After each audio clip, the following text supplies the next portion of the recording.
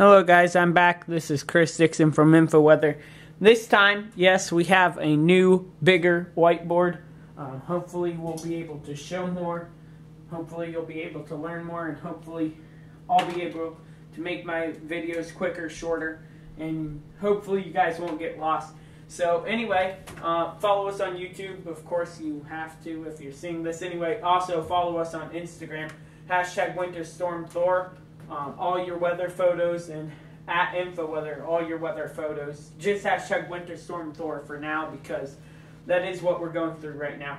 Uh, our tropics will be coming soon. I hope that can come out as soon as we can because I really like the tropics. Um, so I've been working on that and I am creating a whole thing, but it's taking a while.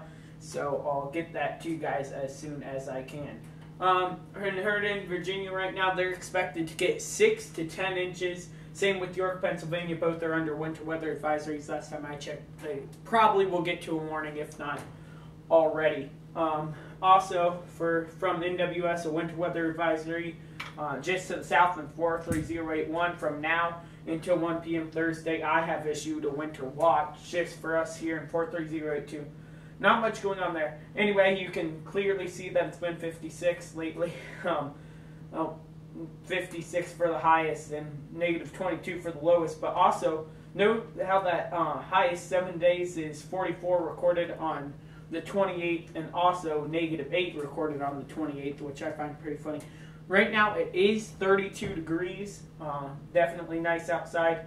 Yesterday, we reached 42, so we did break freezing for real. For the third time, of course, 56 would be the highest, then 44, then our 42 that we just hit. Um, we've got five legit days off of school and one two hour delay. Possible tomorrow. I'm not going to say that we will because they haven't been canceling lately.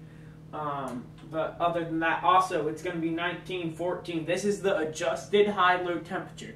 The way that they put it in their program, the low temperature for today is what they say the low temperature for today is is negative is 14 and that 14 is really the temperature Thursday morning. So that's why it's 19 over 14. 19 is the legit high for Thursday. So that's why the way it is. It will be negative 5 Friday morning up to 24 later in the day. And Saturday it will be 37 and 18. That's why I like those uh, places that actually have the high like on top and then it will have big red numbers. Then in between the days, it will say that low temperature. That's more legit. Uh, looks like it's going to be partly cloudy tomorrow, sunny Friday, but definitely very cold. And Saturday, it will be uh, mostly cloudy. Uh, note the lowest temperature in the next 15 days is going to be that negative 5 on Friday. It might actually be uh, slightly warmer than that. But then um, on 317 and uh, 318, we will reach 63 degrees. That's 68 degrees uh, added in 11 days. Definitely going to be a huge jump. Definitely going to feel very nice here uh, in the next few days.